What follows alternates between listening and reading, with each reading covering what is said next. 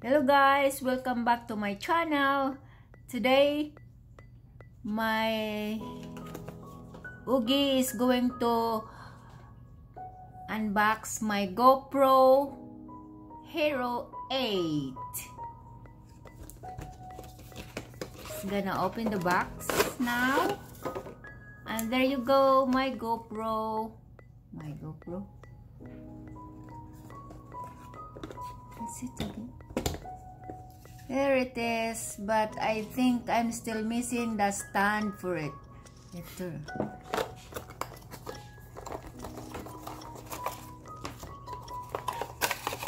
You still have parts there? Hmm? You still have other parts? Ah, you have the battery, the and an extra. an extra what is it to hold the GoPro and I think that's it. Yep, that's pretty much it. that's pretty much it guys. That's all my GoPro they all the parts there. There is the book how to how to use it guys. And thank you Ogie. That's my GoPro.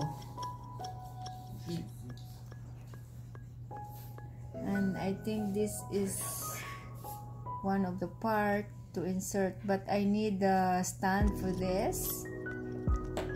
And this is the battery guys. GoPro like this. Yeah.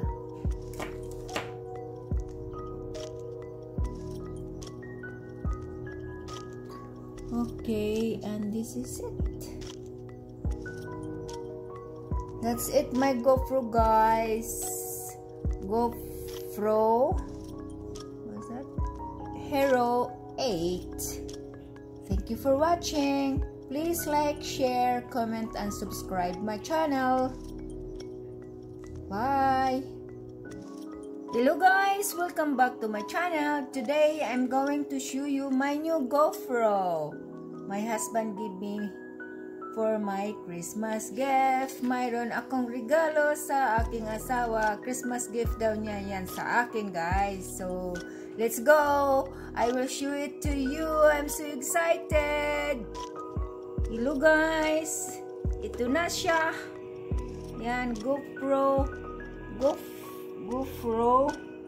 GoPro, not GoPro. GoPro 8. Yan guys, oh. Tapos, ito siya, oh, yung box niya, guys. Yan, I have my gift. Tapos, ito, mayroon siyang stand. Ayan, guys. Itong parang ano, parang selfie stick. Pwedeng pahabain. Ganito, guys. Ayan guys, oh. Ayan, it's too long. Ayan, ayan guys, oh. Ayan, tapos, pwede rin na maiksi lang siya, guys. Ayan, ibabalik ko siya.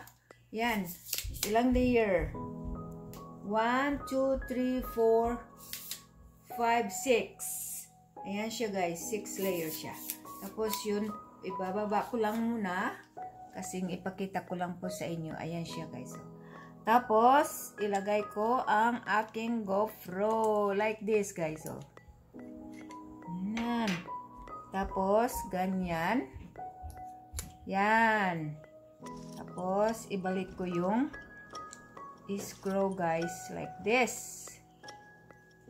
Uy, uy, uy. Ayan na siya. Oops.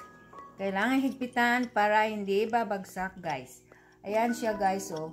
Hindi ko pa siya, na, uh, gisit na yan siya, pero hindi ko pa pwedeng gamitin dahil um, mag-download pa ako ng app sa aking cellphone. Kasi mahirap pag doon sa computer, hindi ko madadala kahit saan. So, sa cellphone ko na lang siya i-upload yung GoPro app.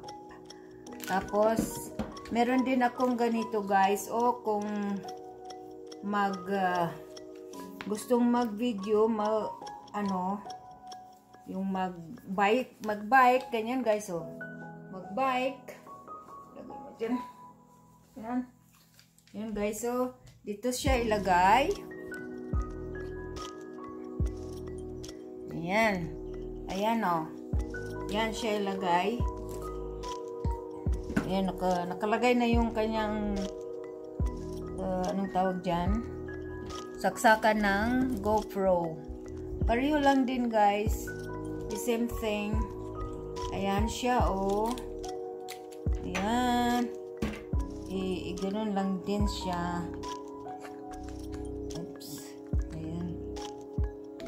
Ayan. Tapos, ilagay lang din yung screw dyan.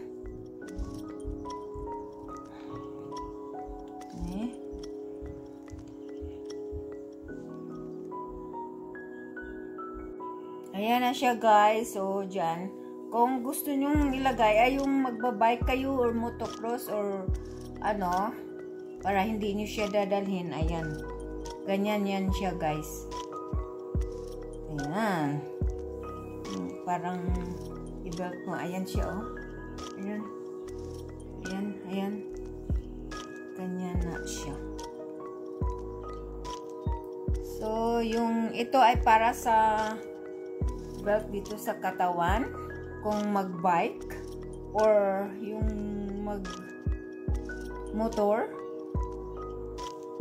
yan. Ganyan yan guys. Hello guys. Dito naman yung isa oh. Pwedeng ilagay sa sombrero or sa ulo.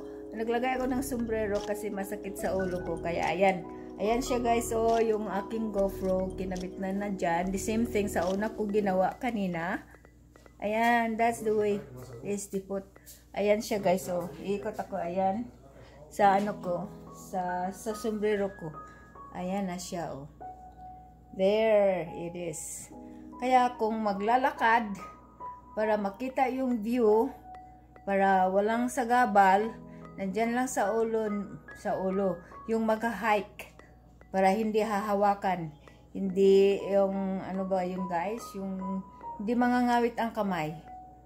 Yeah, that's it guys. Thank you. Ito naman guys ay kung gusto mong ilagay ang GoPro sa sasakyan guys. So, ayan o, oh, parang sa GPS. Ayan, tapos ilagay ko lang ito. Ito siya, dito. Ganyan. Ganyan. Tapos, ikabit itong isa. Ano? This one? Ayan o, oh, guys. Like that. Tapos, yun, yun sabi ko parang sa GPS. Para kung gustong ilagay sa kotse or sa sasakyan, sa truck namin, uh, ng asawa ko. Ayan, ganyan lang siya. Sana ba? Ganyan. Tapos, the same thing, the same process kung paano paglagay, guys. Ayan o. Oh. I-screw lang din dito. Sana ba yun? Di makita. Kasi ang lapit ko. Ayan guys. Ayan na guys. Oh, na-install ko na siya. Yung sa handle ng parang sa GPS. Tapos nilagay ko yung GoPro. GoPro, not GoPro. Ayan siya. Ready na siyang install sa sasakyan. Tapos, meron pang isa. Yan, tatanggalin ko uli yan para i-connect doon sa isa. Ito guys, so floater naman to kung dadalhin mo sa sa boat or yung mga sasakyang dagat like a ship or a boat in case of emergency or maliligo para hindi mahulog sa ilalim ng tubig. Ayan, may floater siya. Pagka nahulog, ayun, tataas siya. Kasi ang GoPro naman ay um, uh, waterproof. Ayan na guys. Tapos, i-connect ko rin yan sa GoPro. Ayan na guys, so kinabit ko na. Yan ang floater kung maliligo sa dagat or sa lake or sa ilog, whatever. Tapos, yan. Kasi pag nahulog, may floater siya, kaya hindi siya pap mapapailalim. Paano ba pagsabi? Basta floater yan to guys, yung galaw.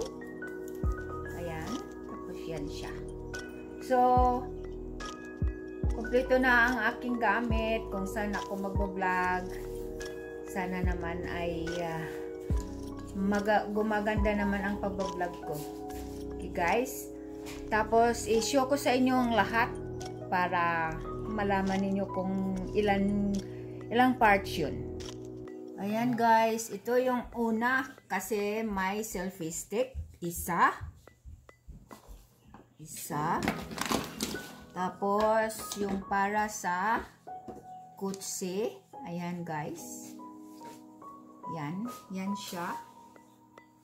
Ito naman yung para maligo or magbangka. Yan. Floater. Tapos, meron din akong charger sa battery. Meron akong extra 2 battery.